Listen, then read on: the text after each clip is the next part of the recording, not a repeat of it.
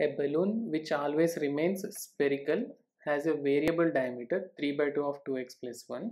Find the rate of change of its volume with respect to, to x. So it's given a balloon which is spherical shape. So let r be the radius of spherical balloon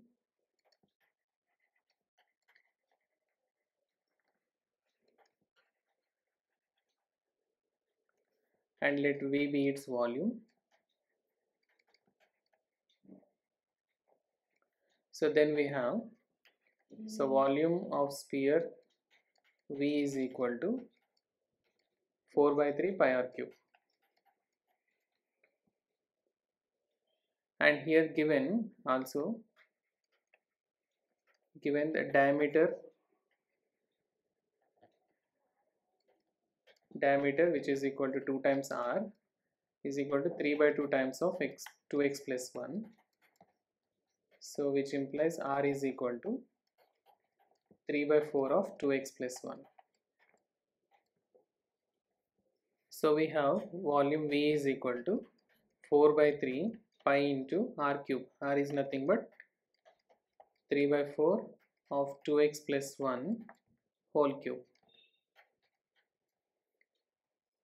so we can also write it as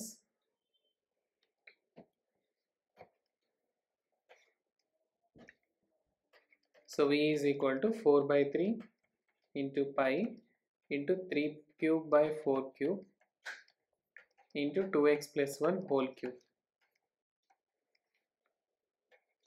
So it is 4 here 1 get cancels and 3 also 1 get cancelled. So 3 square is 9 9 by 16 pi into 2x plus 1 whole cube. Now let's differentiate v with respect to, to x.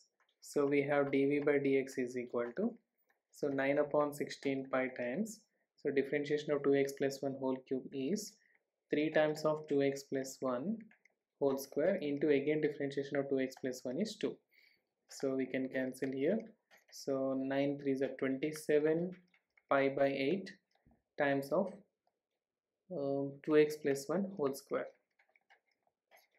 So this is our answer. Okay thank you